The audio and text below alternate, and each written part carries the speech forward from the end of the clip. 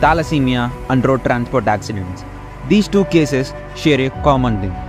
That is, the patients of these cases needs more blood.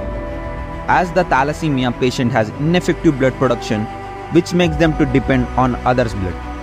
And road transport accidents are always terrifying, with excessive blood loss, which needs a blood donor to save them.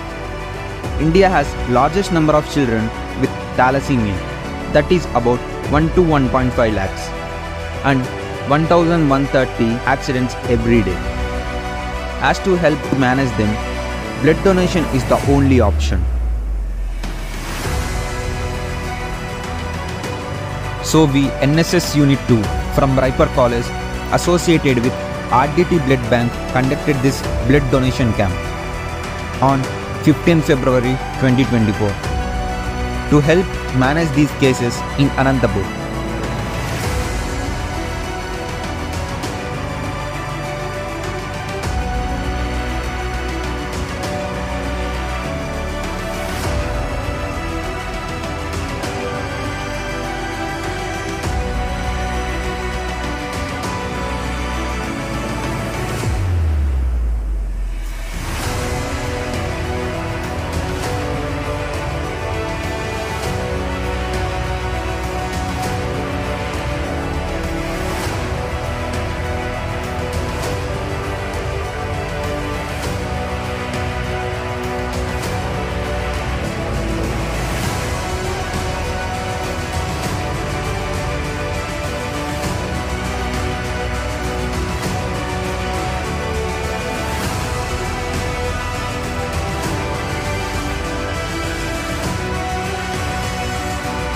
And we have successfully collected 78 units of blood from this camp.